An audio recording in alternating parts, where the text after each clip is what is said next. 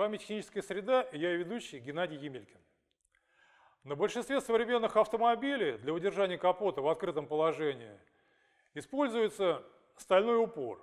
Но есть и более удобная конструкция, например, с такими вот газовыми упорами. Сейчас мы покажем, как их поставить на автомобиль Лада Веста. Установку упора начинаем с установки наших э, стальных кронштейнов, верхнего и нижнего. Отворачиваем ближайший болт к резиновому упору капота на 13 ключ.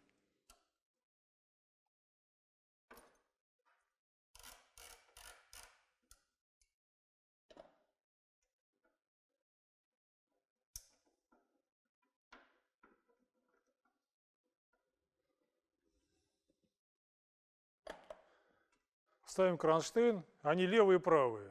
Перепутать сложно, и этим же болтом мы его прикручиваем. У него сбоку такой упорчик, он прям четко встает и не проворачивается. Все, притягиваем его.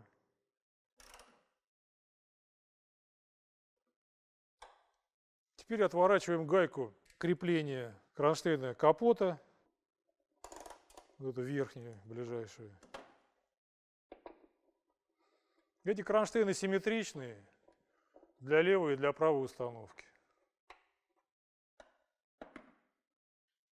Вот мы его ставим сейчас.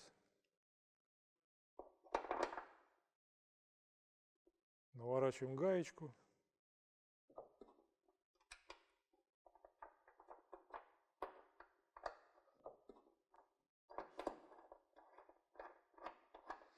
Гайка на 10.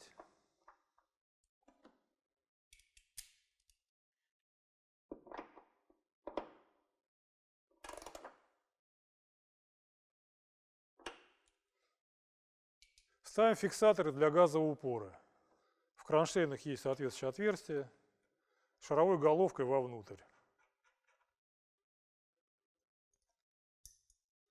Придерживая ключом на 12, Ключом на 13 затягиваю гайку.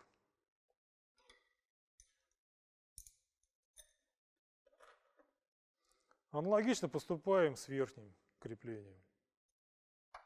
Тоже шаровой головкой вовнутрь моторного отсека.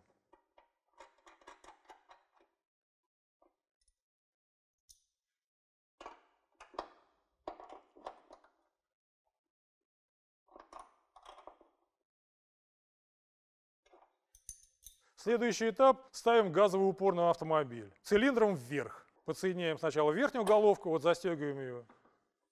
Следом нижнюю. До щелчка. Все, вот у нас зафиксировался.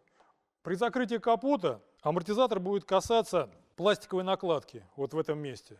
Нам надо ее удалить. Для этого берем ножницы и вырезаем излишки. В принципе, если нет ножниц, можно эту работу сделать ножом. Пластик легко режется. Так, теперь мы проверяем закрытие капота. Так, все, вот он закрывается, ничего там не мешается.